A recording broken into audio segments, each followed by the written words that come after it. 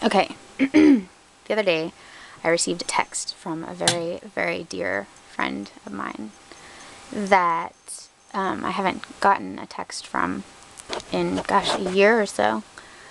It's many states away and, you know, social networking and stuff. I see him. But anyways, this is a very odd hour as well. And it was special, I think, so I thought it should be on video.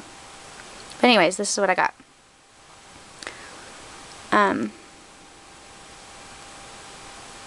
Oh my. Sorry. Okay. Always seem to find myself in the same situation over again.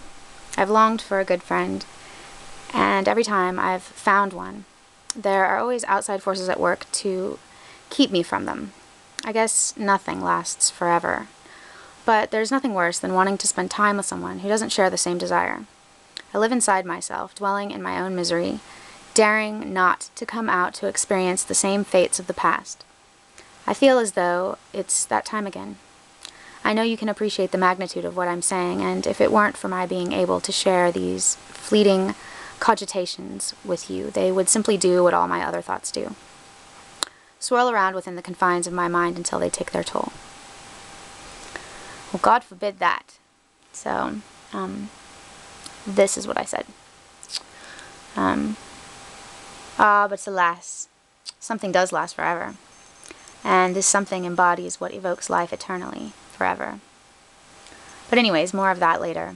Moving on to the situation at your hand, which, correct me if I'm way off here, is time. And not just any kind of time one frivolously spends, pisses away, wastes for plans of security and tomorrow, all the while now, going unnoticed, as if its moment doesn't matter at all unless it still has yet to be, which, by when it arrives, won't be seen then either, for it will be now again, and no one sees the seconds before them slipping away, just when they've passed with shoulda, coulda, wouldas, regrets that never did and cannot be changed. So forward thoughts bring me to now, in this moment that I may get to share with my dear, dear friend and ally. From worlds long ago, our souls have stayed close in the heart of each other. And for me, you have not ever been very far away.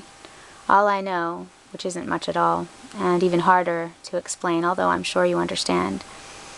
But all I know, I cannot touch or see, but I can only because I feel it so incredibly strong, as it pulls the strings of colored fluffs in the air that ripple sound waves and vibrations through what appears invisible. As it comes to life, I can see through these human eyes.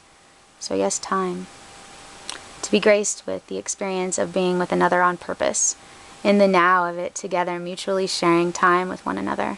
For these moments are what I refer to as spiritual currency, that can only be had when sharing is spent earning this profound engagement of the truly priceless, sacred holiness of the awareness within each single moment to pass.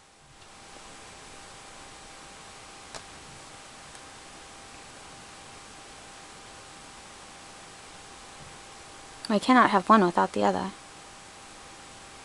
Then it's not had at all. So, for any selfish whims of mine, mine, mine, have it. Because it is nothing unless it's shared on purpose. Not just to have, but to be had together. To share it with someone, right?